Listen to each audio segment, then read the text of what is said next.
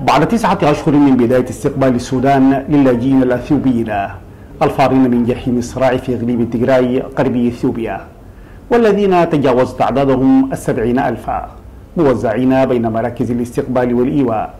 ها هي المنظمات الأممية تتضامن مع الجهد الحكومي في محور الحماية.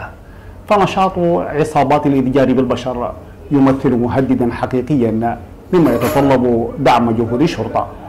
تم تسليم عدد خمسة موتر للعاملين بالشرطة بمعسكر المراقبة دعم من منظمة ال UNDP وفي البدء نشكر منظمة اليو ان دي بي بإمداد الجهات الأمنية لتسهيل عمل عمل الجهات الأمنية في الحفاظ على الأمن وسلامة اللاجئين في داخل المعسكر.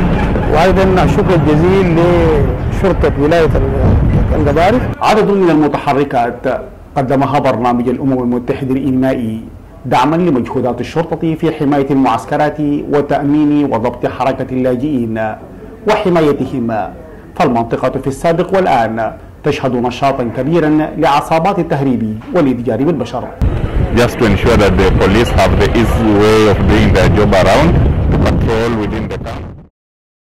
اتقدمت عشان تسهل عمل الجهات النظاميه اللي هم الشرطه السودانيه عشان يقدروا يساعدوا في انه يوفروا حمايه للاجئين عندنا هنا ويقدروا ينظموا المعسكر ويكون امن بالنسبة للاجئين بحيث انه ما يكون في جرائم بتاعت اتجار ببشر واتجار وتهريب بشر.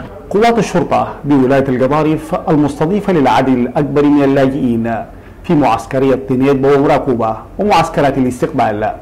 قابلت الخطوة بالترحاب كونها تمثل ساعدا وعضدا لمجهوداتها. دي بداية نقول بداية الغيث غطرة. ويمكن بالمواطن إن شاء الله يعني موعودين إحنا برضه بعربات عشان تكون فعالة. وكل عملها حيكون داخل المعسكر هنا لتأمين المعسكر. ولحسم التفلتات وحزم الهروب والتسلل من المعسكر. ما تمثله هذه الخطوة بحسب المراقبين تعتبر داعما لمجهودات السلطات السودانية في محور الحماية سيما وأن تداعيات الصراع في أثيوبيا تجاوزت إقليم التجراي مما يلقي بعبء إضافي على البلد المستضيف.